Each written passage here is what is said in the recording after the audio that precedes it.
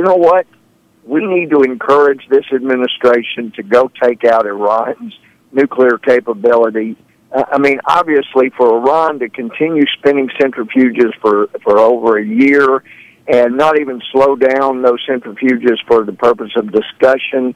And then when you find out that actually uh, going from 5% to 90% enrichment only takes a small room and uh, maybe a, a dump truck load full of uh, the proper 5% enriched uranium, and voila, you, you can start having bombs. Uh, this is serious stuff, and, and I don't think that we ought to put Israel in position of having to save both themselves and the United States. I think it's time to bomb Iran, anything that resembles a nuclear uh, facility that was with centrifuges. It's time to bomb.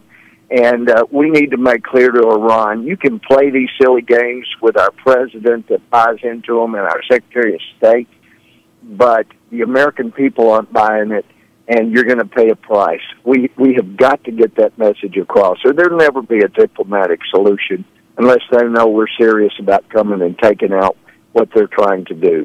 Yeah, I have to think that they were probably the only ones more disappointed last night than uh, President Obama. Uh. You're probably right, but uh, yeah, they they were hoping that uh, they would get a weak-kneed leader, but even Herzog, as I understand, uh, uh, the more liberal leader that that was and, and still is vying for prime minister, uh, I I think he wants to defend Israel as well. But uh, you know, Iran is a threat to them. They're a threat to us. I told Prime Minister Netanyahu uh, two years ago, uh, privately in his office, I am so sorry that we have put you in a position.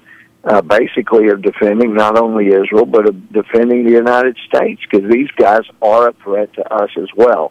Uh, but maybe I'm hoping and praying that the president will realize uh, despite the agenda he has that's Christians in jeopardy around the world, uh, that he will not want to leave the Democratic Party so devastated that they won't recover for many decades, that maybe he'll start being more helpful to Israel instead of slapping them around as an unwelcome uh, visitor and, st- and start treating them like a friend. And uh, maybe once he starts doing that, he'll realize we do need to bomb Iran's nuclear uh, facilities that we know of, and anything they move to fix, uh, we bomb that as well.